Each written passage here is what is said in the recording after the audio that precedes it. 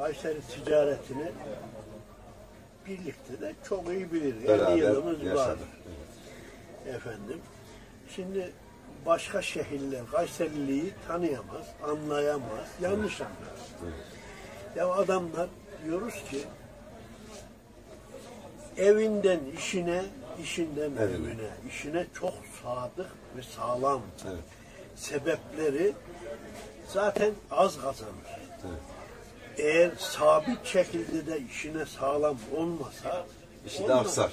Aksar yani. O açıdan işine sağlam. Ciddiyetle işinde durur. Çok önem verir. Bunu misalen bir şey anladılar. Hoş bir şey yani. Adam ölüm döşeğinde. Esnaf. Hastalanmış.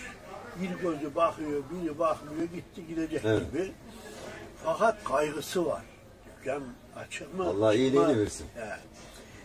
Hanım burada mısın diyor. Evet efendim buradayız. Ne güzel. Söyle emret. Yok da diyor yani burada mısın? Niye bur diyor.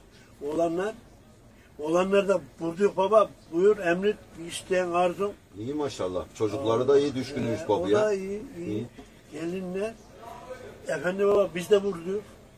Lan diyor gavur bebeleri dükkanda kim var?